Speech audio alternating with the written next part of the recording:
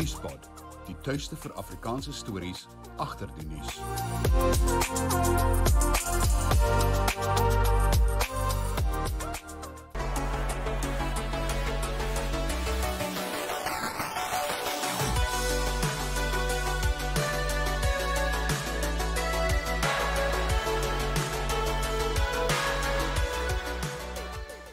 Goeiedag en baie welkom by die Blinkkant. Dit is nuuspot se weeklikse rubriek waar ons die stand van die ekonomie bespreek en ehm uh, kom ons verklaar ons saak. Ons probeer altyd doelbewus om uh, na diamante te midde van die modder te soek uh, want ons uh, redeneer dat 'n ou nie net die hele tyd oor moeilikheid kan praat nie. So so ons werk hard daaraan om in hierdie program spesifiek na goeie nuus te soek. Ehm um, so uh, lof dit soms is dit moeilik.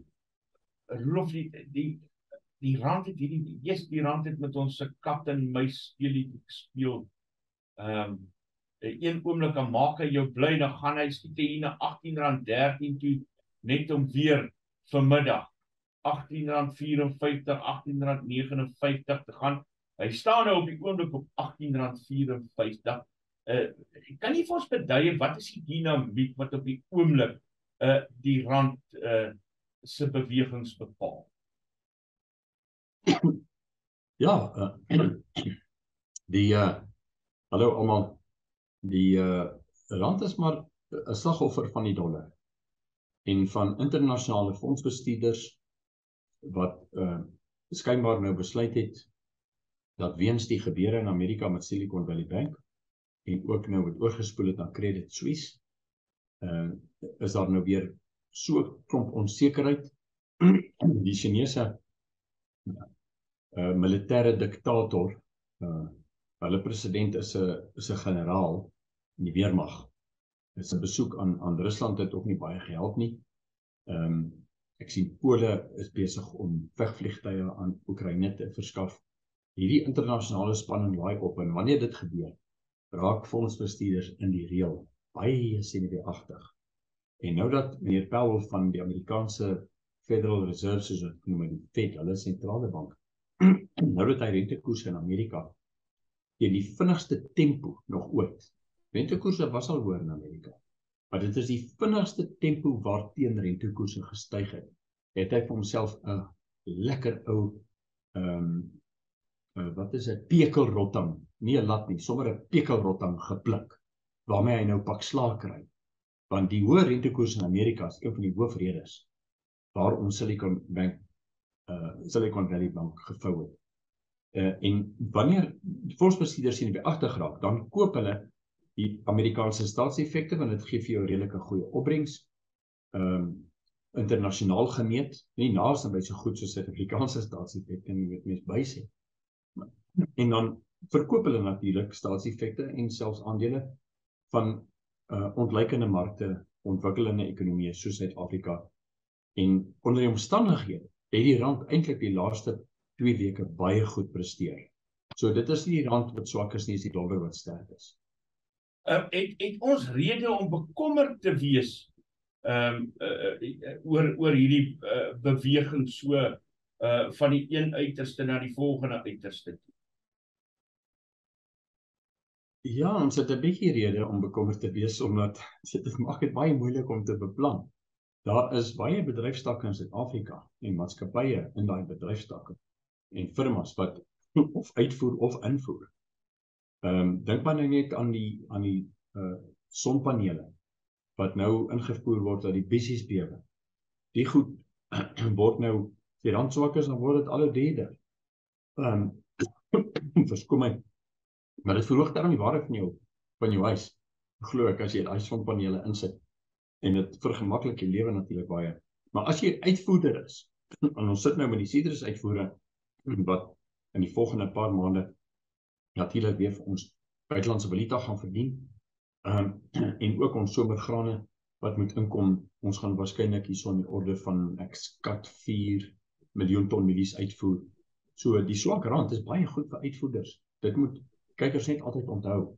Dit is lastig want dit kan veroorsaak natuurlik dat die uh, brandstofpryse weer styg. Maar gelukkig, hierso is nou ons eerste diamant vanoggend. Isak, die olieprys. die olieprys uh, is is is mooi af toe ek laas gekyk het. Ja, hy is uh, op die oomblik ehm um, uh, hy het nou 'n bietjie gestyg vandat ek vroeg vanoggend gekyk het, hy was op 73 dollar gewees, hy's nou op 75. Ehm um, uh, so maar wat dit is daarom dis goeie nuus uh, want daar die verwagting was dat die petrolpryse na April redelik skerp sou styg maar maar, maar met hierdie nuwe olieprys uh, wat so daal um, lyk dit vir my behoort die stygings nou nie so skerp te wees. Ja, as die olieprys aanhou om te bly net waar hy nou is, hm, dan is daar 'n kans dat ons nie 'n brandstofprys verhoog gaan kry nie, nie, maar natuurlik die formules wat hulle gebruik by die departement van mineraal energie sake en gebrek aan energie. Dit is baie nie 'n naam vir hulle. Sal uh, ons sal maar nog 'n bietjie moet wag. Lekker. Hoorie, uh, Rolf, ja. Net so voor ek aangaan uh, na 'n ander vraag toe wat ek vir jou wil vra. Ehm um, uh dat wil ek gou op jou weet. Uh, dis opmerklik dat die rand baie bestendig uh, staan teenoor die pond en die euro. Uh wat maak wat is dit wat dit veroorsaak? Wel, weer eens om terug te kom na die wortel van die kwaad en dit is die Amerikaanse dollar. So die rand doen eintlik redelik goed teenoor meeste ander geldeenhede, maar almal feitelik elke geld geld in die wêreld het die laaste jaar, 18 maande, het, het hulle uh, gesukkel teenoor die Amerikaanse dollar. So dis die sterk dollar wat die uh wat letterlik die groot probleem is. Ek wil miskien sommer gou onderwerpie in inglip uh Isak en dit is die um die die kwessie rondom die Silicon Valley Bank en ook Credit Suisse. Nou Credit Suisse het bates wat 'n meervoud is. 'n meervoud van Suid-Afrika se totale bruto binnelandse produk. So daar is die een bank in in in Switserland het meer bates. Die waarde van hulle bates is is is 'n meervoud van die totale waarde van alles wat in Suid-Afrika geproduseer word in 'n jaar. En daardie bank is bankrot. Uh en ek glo baie kykers is is effens senuweeagtig. Want hulle sal onthou wat hier in 2008-2009 met die finansiële krisis wat tot 'n ernstige, die grootste wêreldresessie sedert die die groot depressie van van omtrent 'n eeu gelede het dit veroorsaak. Maar dit is totaal ander omstandighede. Uh wat gebeur het vanaf 2008-2009 is dat alle feitelik alle lande in die wêreld het hulle regulasies rondom banke verskerp veral oor die uh, Basel akkoord uh, kykers kan gerus 'n bietjie gaan met professor Google gesels daaroor. Dis baie interessant hulle die kapitaal reserve vereistes van banke opgeskuif en hier is nog 'n diamant. Suid-Afrika is van die toplande in die wêreld wat betref hierdie kapitaal reserve verhouding van ons banke. Ons bankstelsel is al deur verskeie internasionale organisasies insluitende die IMF e geëvalueer. En al is ek 'n krities teenoor die Reserwebank se monetêre beleid moet ek moet ons vir hulle pleintjie gee vir hulle toesighouding oor Suid-Afrika se finansiële stelsel. Ehm um, ons het daar daar is geen rede om bekommer te raak oor die Suid-Afrikaanse bankwese nie en die vinnige optrede van die Fed om die deposante by Silicon Valley te vergoed en ook in Switserland uh om te sorg dat die die UBS bank wat uh ek dink die 30 30ste grootste bank in die wêreld is. Hulle totale bates was so is omtrent so 50 60% meer as Credit Suisse. Maar hulle het nou Credit Suisse oorgeneem. Ehm um, en hopelik sal daar in die volgende paar dae en weke sal daar stabiliteit kom. Uh wat natuurlik 'n regtige blink diamant is. En nou wil ek vir jou oor 'n ander saak vra. Ehm um, uh Cyril Ramaphosa hou dit as 'n diamant voor. Ehm uh, ek het my bedenkinge daaroor.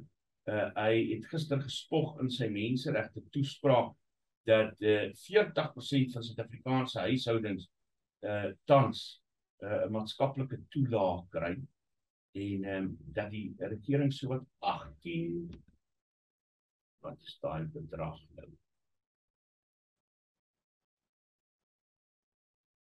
18 miljard rand aan 'n uh, maatskaplike toelaas uitbetaal. Ehm um, nou moet ek gou kyk wat daai bedrag is uh wat hy gesê het. Ehm um, want ek kan nou dis baie onthou nie, maar dis 'n ongelooflike groot bedrag. Ehm um, uh, wat hulle wat hulle uitbetaal aan aan maatskaplike toelaas. Ehm um, dit Rolof is dit verkeerd. Dis nie goeie nuus nie. Uh ja, dis 'n tweesnydende swaard. Want dit is 'n enorme bedrag. Dit is net die onderwys begroting in die nasionale uh, begroting van die regering. Ehm um, wat wat 'n uh, groter bedrag aan toegeken word as die die welsyn. Maar nou moet ons onthou dat ehm um, ja, die die aantal mense wat maatskaplike toelaas ontvang 18 miljoen mense ontvang tans ehm um, 'n uh, uh, ja. maatskaplike toelaas. Wat ons onsself moet afvra. Twee vrae is. Nommer 1, kan ons dit bekostig? Die antwoord is ja. Ons doen dit, ons het dit omstelselmatig opgebou van 1994 af. Hierdie ehm um, maatskaplike toelaat. Ons kon dit tot nou toe gemaklik binne in ons staatsfinansies bekostig. Ehm um, ons staatsskuld BBP verhouding is net oor 70% wat laag is volgens internasionale standaarde. Ehm um, die tweede vraag wat ons moet afvra is is dit ehm uh, wenslik vir 'n regering van 'n ontwikkelende land soos ons om maatskaplike toelaas te betaal aan mense wat nie kan werk nie weens watter rede ook al nie genoeg vaardighede nie en dis meer nie genoeg skoling nie uh, of of armoede en dis meer.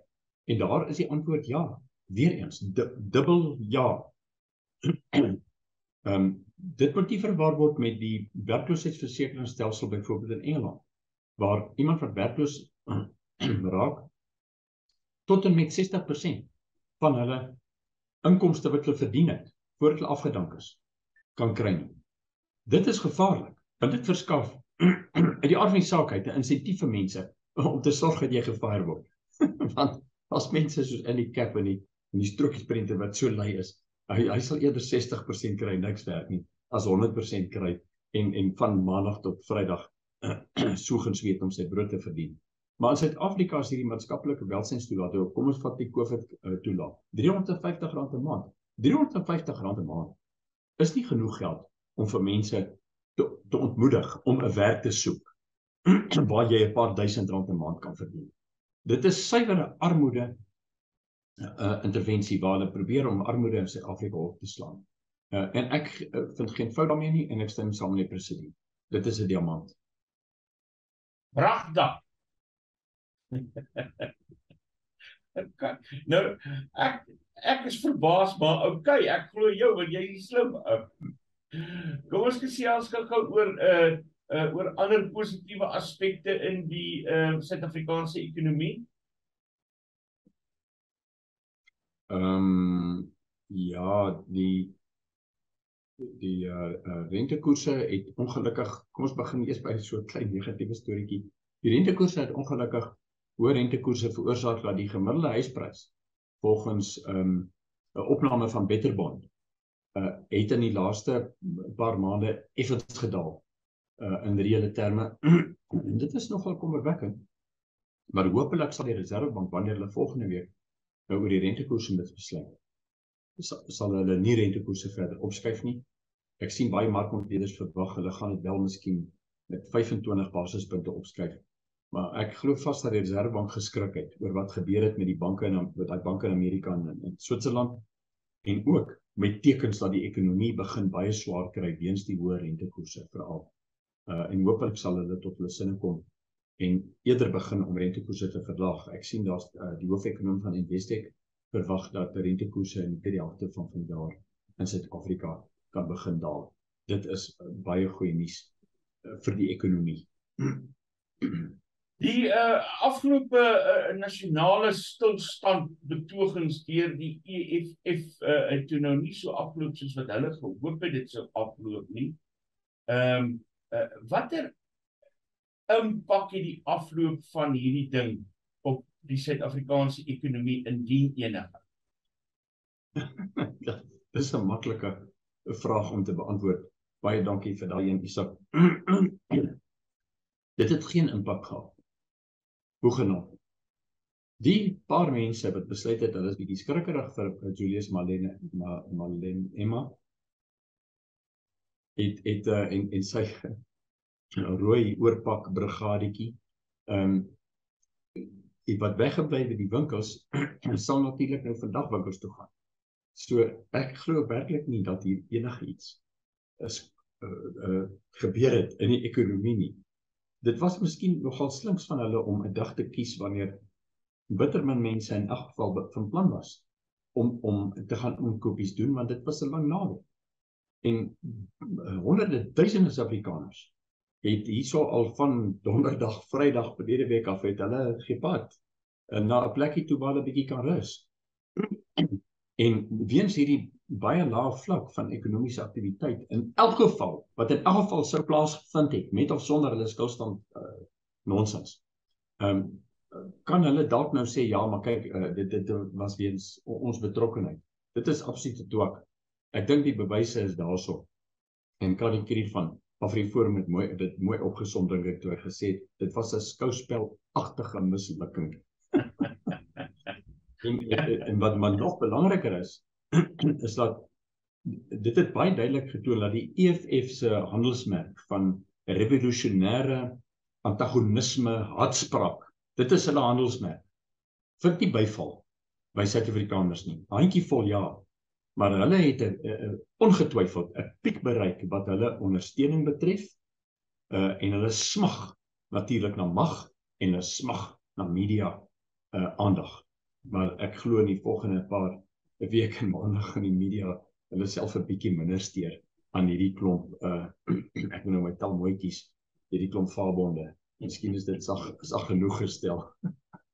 Laaste vraag, Rolof, uh hierdie bankkrisis waaroor ons nou nog gepraat het, uh een van die uitvloeisels daarvan is uh dat die goudpryse uh, uh vir die eerste keer weer in 'n lang tyd uh tot oor die 2000 dollar per fyn ons gestyg het.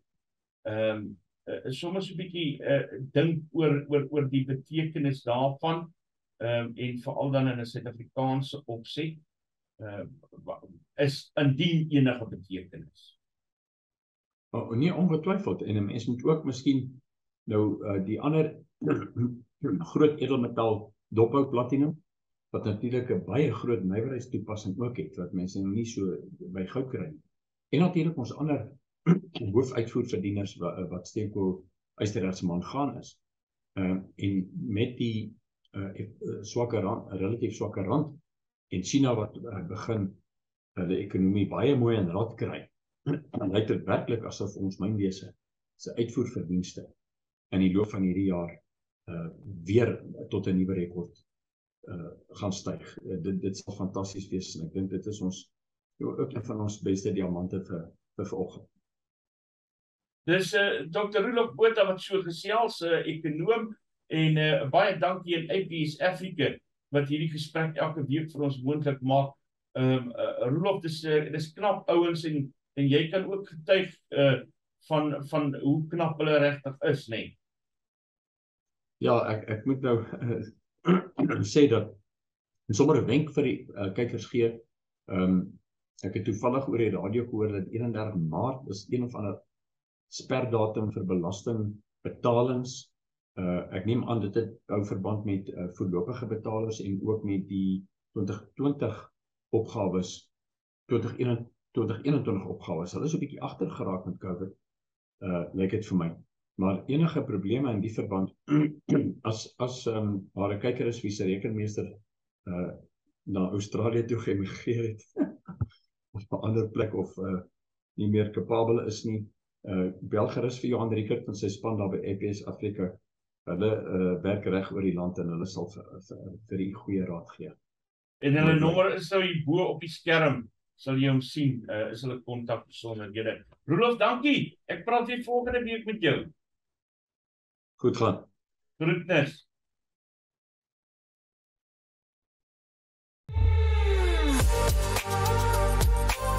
Nuuspot, die tuiste vir Afrikaanse stories agter die nuus.